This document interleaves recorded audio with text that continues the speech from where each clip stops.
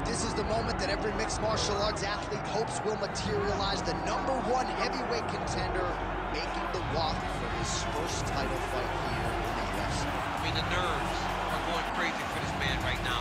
He's so nervous. Has he done everything he needs to do? Has he not left any stone unturned? He says that he has prepared. He says that his body's ready. His mind's ready. He feels physically good in the spot. He's taking on a long-reigning champion. If he's going to get this done, it's going to take something truly special. He does not believe jitters will be a factor here tonight. He has built his career methodically to this point. We'll see if we hear the words and new by night's end.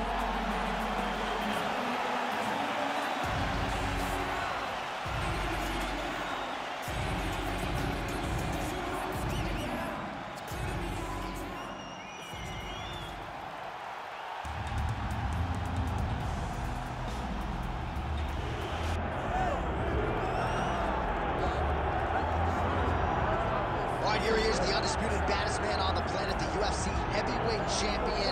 And man, does he have all the confidence and the self-belief that comes with that distinction. Yeah, when you're the baddest man on the planet, you are confident. You have to be a bit arrogant, a bit cocky. And that's what this guy has. He has been here on so many different occasions. This is like another night in the office, but you can never tell by the way that he prepares. You watch him prepare, he treats every one of these defenses as, as if it's the first time he's fighting for a UFC championship. No, you put that well. He has had that patented intensity about him this week, trying to occupy some headspace in the challenger. Huge heavyweight title fight is upon us. Won't be long now, folks.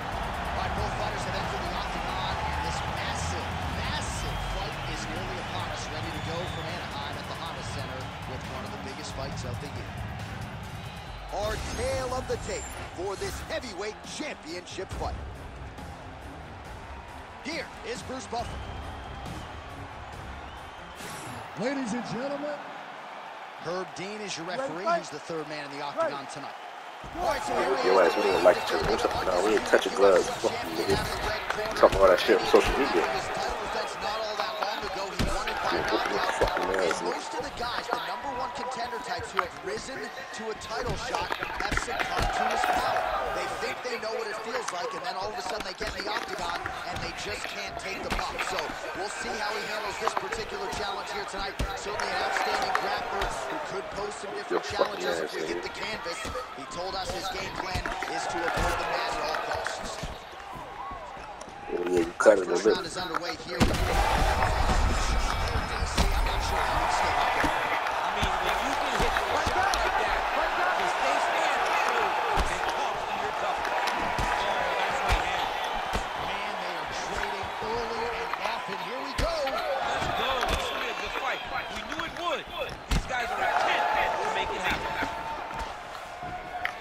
Try to grab me, bitch.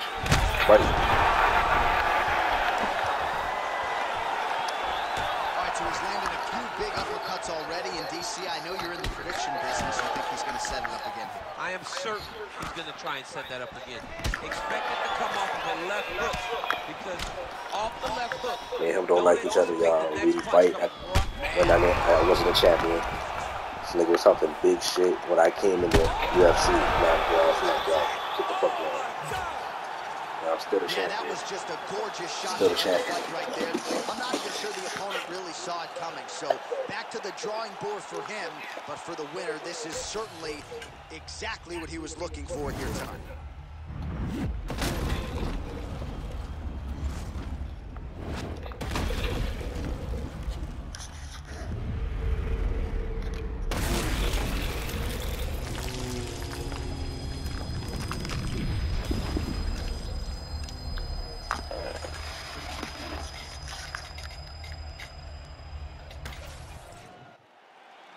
Right, we go back inside the octagon to the veteran voice once more. He is Bruce Buffer.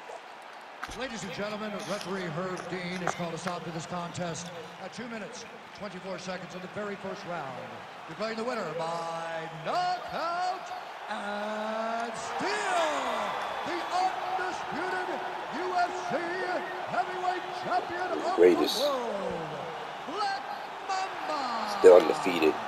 Still a champion. Well, he came I decided with for the ride. baddest man on the planet, and that is exactly the way he goes out. Congratulations to the undisputed UFC heavyweight champion of the world, your winner tonight by way of You the KO. W. And that's a big man celebrating with his team right now. Enjoy it, boys. You maximize the moment tonight.